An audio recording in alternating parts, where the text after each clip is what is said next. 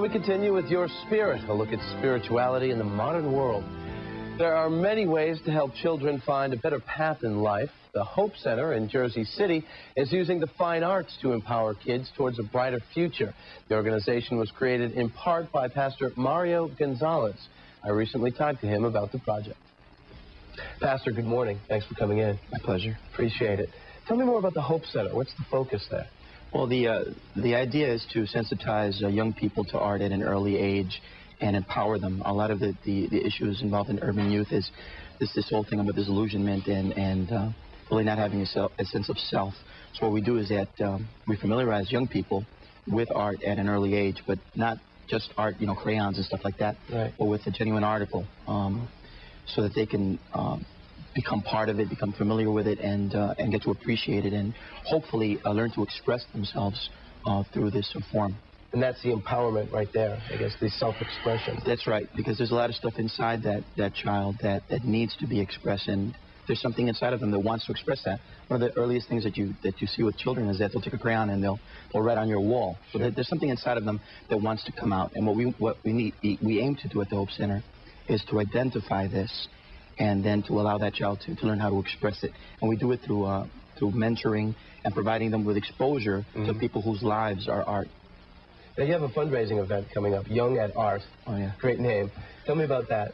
That's exciting. Um, we have our, our curator Robert Costa. He's uh, gathered together all 45 of the finest artists in the Northeast. Uh, people. Our, our, featured artist is Duda Penteado, who is also our director of fine arts. We have Orlando Cuevas, which is a native Jersey City um, artist. His, his art is incredible. We have guys like Mike Bidlo, Tom Otterness. Like we, 45 artists. 45. How do you get so many?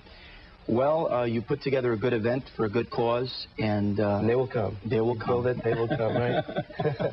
That's right. Let's take a look at some of them. You mentioned both these men. Duda Penteado. Yes. Tell me some about him. Great artist. He's a Brazilian uh, artist. Uh, he is a director of fine arts for the Academy. Um, his work is uh, is is very eclectic. It's uh, fresh new. It's a modern kind of a view of, of the world, mm-hmm. um, and it's uh, it's really colorful and, and, beautiful. And Orlando Cuevas, he is uh, he is an urban. Uh, I would describe his art as as whimsical and eclectic, sort of an urban view of the world, uh, and he does a lot of sculptures and a lot of um, uh, work in different kind of media, mm-hmm. and it's very very uh, very fresh, very new. Now, where is the Hope Center actually located?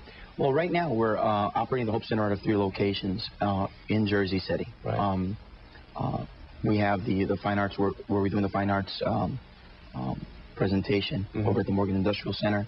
We have a school that we're using uh, to teach, and we have another um, uh, place that we have up in the Jersey City Heights where we're uh, teaching dance. Right. So it's not just about art; it's also about music and and, and dance, performing arts. Right.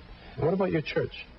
My church, Calvary Assembly of God. Um, it's uh, it's a powerful church up in Jersey City Heights. Um, again, our emphasis is very. Uh, we have a younger uh, crowd, a very lively music, and um, we're we're very involved in uh, community affairs and things that that build up the community because we believe that church is not. We have to make church relevant. That's the whole thing. Church has sort of gotten itself out of the mainstream, right. and we believe that it, if you're going to be light, you need to be a light in darkness, mm-hmm. not hide that light. Well, Pastor Mario Gonzalez, Thanks for coming in and uh, continued success. Thank you very much. Appreciate that.